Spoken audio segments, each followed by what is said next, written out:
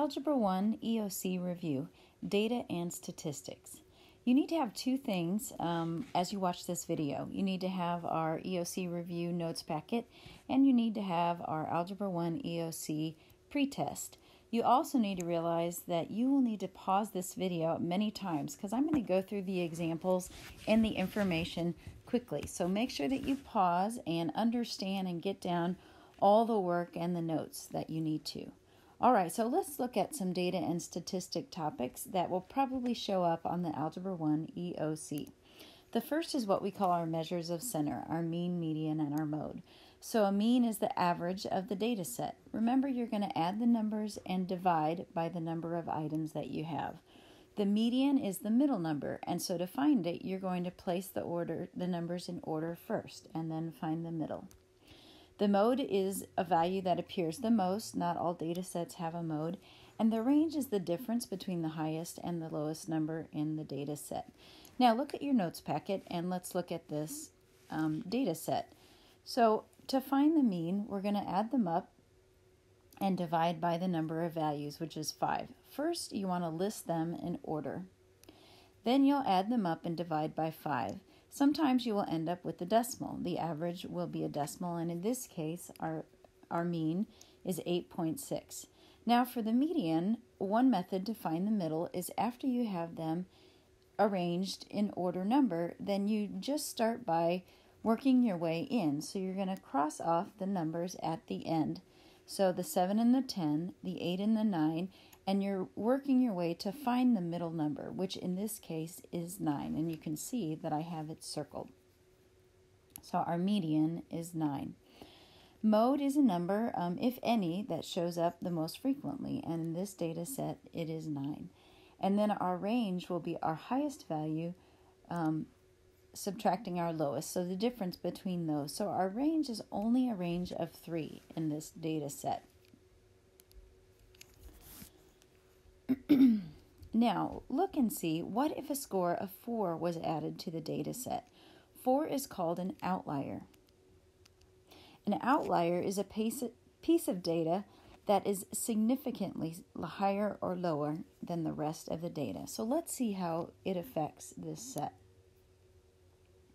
So I'm going to put it in order and now with the value of 4. I'm going to add them up and divide by 6 because I now have Notice that my mean, my average is now lower.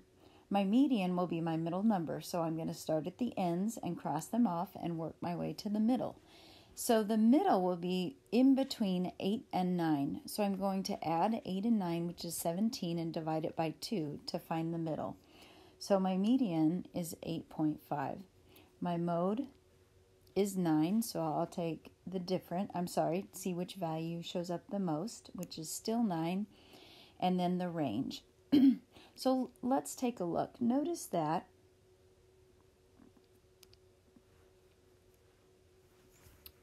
between the two data sets, the mean is significantly impacted by the outlier, so the mean is less. The median is impacted, um, but sometimes it may not be.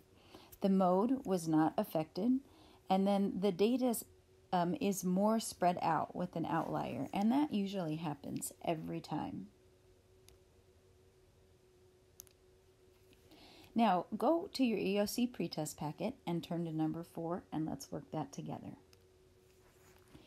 So the table shows the distances that schools will travel to attend a field trip to the state capital. School number seven, which is not in the table, only has 15 miles to travel, which is much less than the other schools. If the outlier is added to the data, which is a true statement about how it changes the data in the table, select all the statements. So we need to do a bit of work to figure out these answers. The first thing is we need to figure those measures of center, mean, median, mode, and range for our first data set. And the data we're looking at is the distance traveled. So we'll find the mean, we will add them up, and divide by 6. That will give us an average um, of 322 and a half miles. Notice when we write those values in order um, from small to large, then we've got a middle in between 380 380 so if your middle is in between the same numbers, then that is your median. The mode is the one that shows up the most, which is also 380, and then our range will be 275. Now let's add that outlier. So you can see I've written our new data set with the 15. So I'm going to add those up now to find my mean and divide by, in this case, 7. So my average is 278.6. That's the mean. The median is still 380. Our, my mode is still 380. My range, however, has changed. My range has increased. So now I'm going to look at my choices. The data is less spread. That is not true. The data is more spread, and that will happen with an outlier between, um, or sorry, both the median and the mean change. Well, that's not true because only the mean has changed. so there is no change in the median mean. That is not true. There is no change in the spread. That is not true. But F is true. The median did stay the same and the mean changed. G is not true. The median did not change. So, in a problem like this, we need to actually compare those measures of center um, with and without the outlier. Another way to show relationships of data is through a box and whisker plot, which you may have seen before. So let me draw attention, um, your attention to some of these features. Notice I have underlined minimum, median, and maximum. So this is a graph showing you the minimum value in the data set, which looks like it's about 4. The maximum value, which looks like maybe 20, um, 27. And then the middle number, so the middle of the data set, which looks like it is 21. Each section represents 25% of the data, so a quarter of the data points are in those four areas. The first quartile is the middle of the lower half, the median. The third quartile is the middle or the median of the upper half.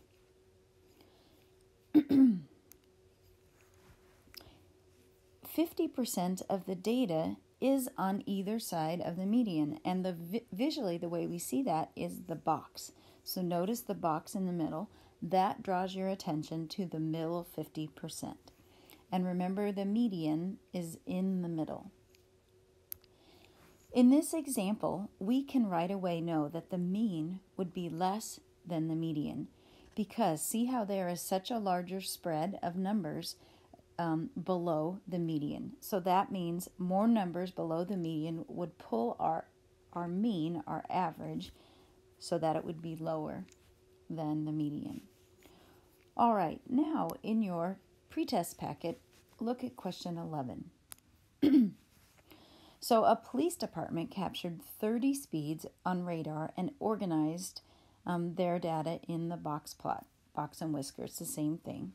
So it looks like that the lowest speed was very slow, maybe like one mile per hour, and the highest was a little over 50. And then the middle speed, so not the mean, but the middle number is 30 what can we infer about the data? So, one thing is you look at over the right, I listed that I know the median is 30.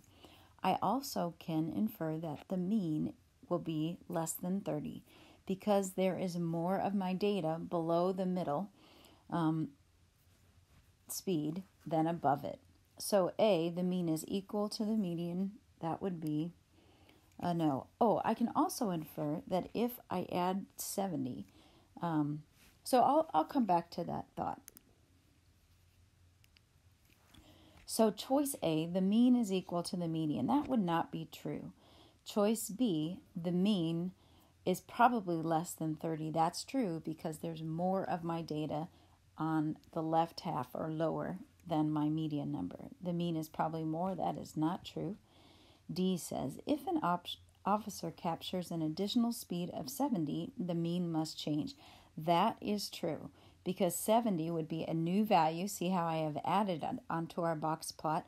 So that would pull our mean up. So it would have to change. Now, E, if an ops officer captures an additional speed of 70, the median must change. That is not true. We could still have a median value that would be at 30. All right, back to your notes. Now, a correlation is a relationship between one factor and another. So, a positive correlation means that there is a strong relationship where if one factor is increasing, the other is also increasing. The more involved in school activities you are, the higher your, your grades.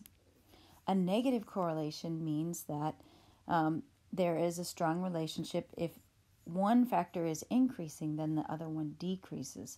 So, an example is the more oil in the country, the lower the price of gasoline. So, and then finally, no correlation means there is not a relationship between those two factors.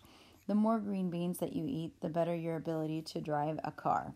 So, they may just not have the, a, a relationship between the other. Now, look at the graphs, okay? So, we can see I have just hypothetical data on those graphs below and then some numbers. So, first of all, look at the three graphs on your left. Notice as you look at them left to right, your eyes are drawn up and to the right, just like a positive linear slope. So, on number one, that would be a perfect positive correlation. As our first factor was increasing, our, our second one was also increasing. Notice how they line up so in a perfect line. the second one from the left would be a high positive correlation. So notice there is more space in between those data points, but your eyes are definitely drawn up and to the right. And then finally, the third one from the left, your eyes are drawn up, up and to the left, but there's a lot of space between those points. So that would be a low positive correlation. And then in the middle graph, you can see your eyes aren't drawn either up or down as you look at it left to right. So that would be no correlation. Now, on the right end, we have, starting from the very far right, a perfect negative. So see how those points are lining up and falling. And then a high negative and a low negative. Another way to do, well, first of all, let's look down at the bottom. The numbers underneath are a statistical measure called R. So this is a statistic that you're not going to have to figure, you're just going to be given, but you are going to have to interpret it. So the closer that this number is to 1 or positive 1, the stronger the relationship is. And then a 1 or a negative 1 is a either a perfect positive correlation or a perfect negative correlation. And it was very strong. and then as the numbers become closer to zero, then that relationship weakens. So we would say numbers around 0.5 and negative 0.5 have a weak correlation, but they still correlate. And then an R value around zero, we would say has no correlation. Now go to number 16 in your pretest packet and let's use this information. So on the graph, we see a car sales business is analyzing the number of cars sold and the average daily temp. The data is shown on the graph below or to the right. Notice right away, let's identify that correlation. Your eyes are drawn up and to the right in a very strong way. That is a strong positive correlation. so right away, we can just eliminate choice A because the temperature is giving an indication of the number of car sales. As the temperature increases, so does the sales. If the temperature is 50, the car sales will definitely be for cars. Well, we cannot say definitely. We could maybe say about, but since it says definitely, that is not true. Because it looks like at 50 degrees, there maybe also have been seven cars sold as well. The higher temperature is correlated to higher car sales and causes the car sales to increase. Well, it is correlated, but we cannot definitely say that that is the cause. So we have to go with D because that qualifies it. That that temperature it does correlate, but maybe does not necessarily cause. Turn to number 28 now in your packet and let's look at that one. So here we have just scatter plots without specific data connected to it that show relationships between two variables. So we're going to draw a line from the correct correlation coefficient, that's an R value, to each graph. So we need to figure out do we have positive, negative, or no correlation, and is it strong or weak? So our first one I would call a strong positive because those points are fairly lining up and our eyes are definitely being drawn up and to the right. Our next one would be a weak positive because your eyes are drawn up slightly.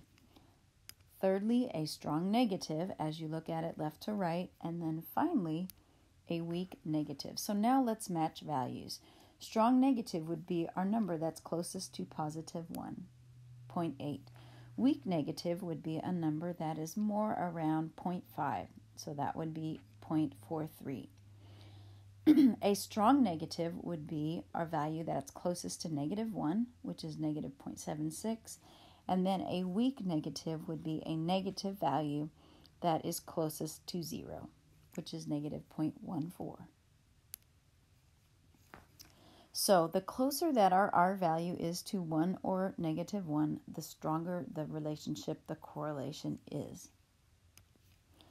Now let's turn to 24. Remember, you should be pausing this video as you work through so that you can get all the notes and practice working these problems. So we've got another graph here. It is comparing the number of missed school days to the math final exam grade. Notice there is a strong negative correlation. The more days you miss, so as that increases, your grade on the um, final math exam decreases. So let's look at each of these statements. The number of days missed has no correlation, so that simply is not true.